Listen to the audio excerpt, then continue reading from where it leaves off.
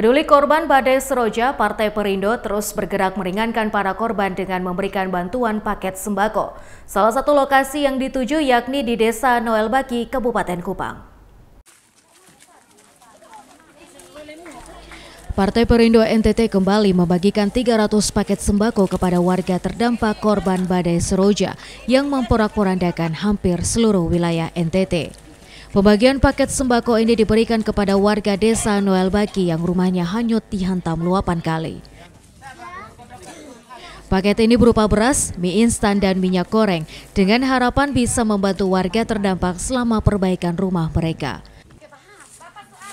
Salah satu warga menyampaikan terima kasih untuk Ketua Umum Partai Perindo yang hadir memberikan bantuan. Kalau baru tambah ini baru dua kali. Oh, Oke. Okay. Ya, artinya saya sebagai pribadi merasa bersyukur dan terima kasih kepada Partai Perindo yang sudah peduli kepada kami.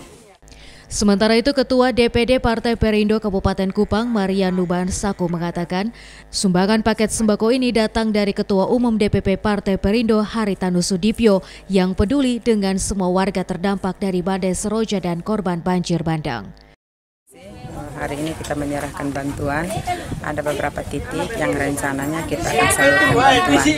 Ya khususnya uh, Partai Perindo Kabupaten Kupang mendapat bantuan uh, dalam bentuk bahan dari uh, Pak Ketua Umum itu melalui DPW Provinsi NTT Partai Perindo sebanyak beras 500 kilo, uh, minyak goreng 80 liter, kemudian uh, ada 300 dos. Pembagian paket sembako ini masih akan terus dilakukan dan diharapkan adanya donatur lain untuk datang membantu. Karena banyak korban badai yang kekurangan sembako, juga rumah mereka yang rusak dan belum diperbaiki. Dari Kupang, Eman Suni, Tim iNews melaporkan. Terima kasih Bapak Ketua Umum Partai Perindo. Kami sudah